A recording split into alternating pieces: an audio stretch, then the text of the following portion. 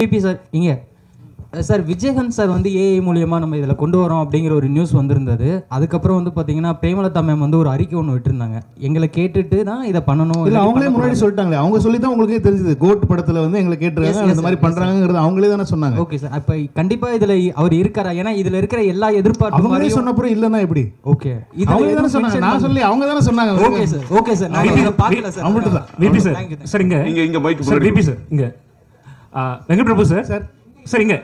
Sir ஆ sir bro sir இப்போ வந்து படத்தில் ஆக்சுவலி நீங்கள் சிஎஸ்கே ஃபேன் எல்லாம் தெரியும். பயங்க பயங்கரமான ஃபேன் அண்ட் பேரலல்ஸாக டயலாக்ஸ் நிறையவுமே இருக்குது references so Dhoni and Vijay sir கூட கம்பேர் பண்ணுற மாதிரி ரைட்டிங்ஸ் இருக்கா? அண்ட் அதர் திங் பர்சனல் லெவலில் you do you think they have anything in common so that அது மாதிரி ரெஃபரன்சஸ் சார் எனக்கு விஜய் சார் தெரிஞ்ச அளவு தோனி தெரியாது. ஏன்னா நான் விஜய் சார் கூட வந்து கிட்டத்தட்ட ஒரு ஒன் இயர் டிராவல் பண்ணேன் தோனி அவங்களோட ஒரு ஒன் இயர் நான் டிராவல் பண்ணேன்னா கண்டிப்பாக ரெண்டு பேரோட கம்பே கம்பேரிசன் சொல்கிறதுக்கான நம்மளும் உங்களை மாதிரி வெளில இருந்து டிவியில் பார்த்து கிரவுண்ட்ல இருந்து பார்த்து தான் எனக்கு தோனி அவ்வளோவா தெரியுமே தவிர ஆனால் விஜய் சாரை க்ளோஸாக அப் க்ளோஸ் அண்ட் பர்சனலாக தெரியும். ஸோ எனக்கு தோனி அவர்கள் உண்மையிலேயே அப் க்ளோஸ் அண்ட் பர்சனலாக எப்படி இருப்பாங்கங்கிறது தெரியாத காரணத்தினால் என்னால் இந்த கேள்விக்கு பதில் சொல்ல முடியாது.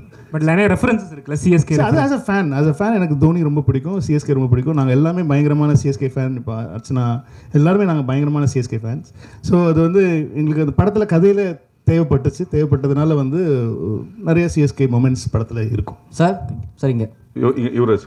இந்த படத்துல வந்து ட்ரெய்லரில் வந்து அண்ணா வரார் வெளிவீடு அதுக்கப்புறம் அந்த ஐ எம் வெயிட்டிங் ஸோ இந்த டைலாக் எல்லாமே ட்ரெண்ட் செட் அப்படின்றதுனால வச்சுங்க வேற எதுவும் ட்ரெண்ட் செட் பண்ண கிடைக்கலையா? இல்லை இதுதான் ட்ரெண்ட் செட்னு சொல்லி இல்லை நான் லேட் ஆகுமே ட்ரெஸ் செட் பண்ணுறதுக்கு டக்குனு ட்ரெஸ் செட் பண்ண விஷயங்களே எடுத்து போட்டோன்னா டக்குனு உங்களுக்கு புரியுது. இப்போ நீங்கள் அந்த கேள்வியை கேட்க மாட்டீங்க. நான் வேறு ஏதாவது போட்ட ட்ரெய்லர் கமிங் சூன் அப்படின்னு சொன்னால் அவர் கேட்பாரா கேள்வி கேட்கவே மாட்டார். இப்போ கேட்குறாரு பாருங்க அண்ணன் வரார் வழிவிடுன்னு எப்படி ஞாபகம் இருந்துச்சு உங்களுக்கு? ஏன்னா அது போட்டனால தான் வருது. இல்ல, இப்ப பழகின விஷயம் சார் விஜய் சார் டைலாக் அப்படின்றதப்போ இப்போ இந்த படத்துல வந்தது வந்து வயசாயிடுச்சு.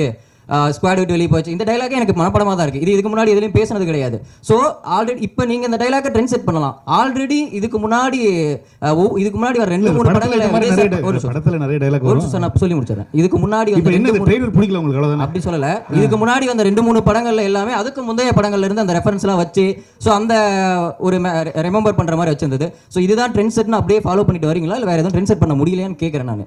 அது எது ட்ரெண்ட் செட் நீங்க சொல்லுங்க ஃபர்ஸ்ட் இது அதான் கேட்கறேன் ஐ எம் வெயிட்டிங் அப்படின்றது விஜய் ஃபேன்ஸ் ட்ரெண்ட் செட் தானே அது? அப்படின்றத விஜய் கேட்கறேன் ஃபேன்ஸ் வந்து ஐ அம் வெயிட்டிங் சொன்னா கிளாப் பண்ணுவாங்களா பண்ண மாட்டாங்களா? சோ இதுவே வந்து இப்போ இதுக்கு முன்னாடி அந்த ஸ்குவாட் டயலாக் இருக்குல்ல. இது அடுத்த படத்துல வச்சா அடுத்த படத்தோட இப்போ இது அடுத்த படத்துல டேரக்டர் கூடாது அப்படின்றத நான் கேட்கறேன் இனிமேல் சொல்லிடுறேன். இனிமேல் வந்து விஜய் சார் டயலாக்ஸ் வந்து அடுத்த படத்துல நம்ம யூஸ் பண்ணக்கூடாது. இல்ல அது கேட்கறேன் இது ட்ரெண்ட் செட் அப்படின்றது ஒரு தேட்டர் மூமெண்ட்டாக இருக்குங்கிறது தான் ஐடியாவே ஒரு தேட்டரில் ஃபேன்ஸை செலிப்ரேட் பண்ணணுங்கிறது தான் ஐடியாவே தவிர நான் வந்து ஒன்று ஒரு ஒரு விஷயம் சொல்லி அது வந்து அடுத்த படத்தில் அவங்க என்ஜாய் பண்ணணுங்கிறது ஐடியா கிடையாது. இந்த இடத்துல நீங்கள் ஒரு தேட்டர் வரீங்கன்னா ஒரு நல்ல ஒரு ஒரு செலிப்ரேஷனாக இருக்கணுங்கிறதுக்கு என்னென்ன பண்ணலாம் அப்படிங்கிறது மட்டும்தான் நான் யோசிச்சேனே தவிர இது இல்லைன்னா நான் எதுக்கு நிறைய பேர் சொன்னாங்க எதுக்கு அண்ணா வரார் வழிவிடு வைக்கிறீங்க? அது வந்து லோகேஷ் படத்தில் இருந்துச்சு அது நீங்கள் எப்படி வைக்க நீங்கள் வைக்கிறீங்க? நீங்கள் புதுசாக எனக்கு தேவையில்லை. எனக்கு அது லோகேஷ் நல்லா தான் பண்ணியிருக்காரு. அது சூப்பராக பண்ணியிருக்காரு.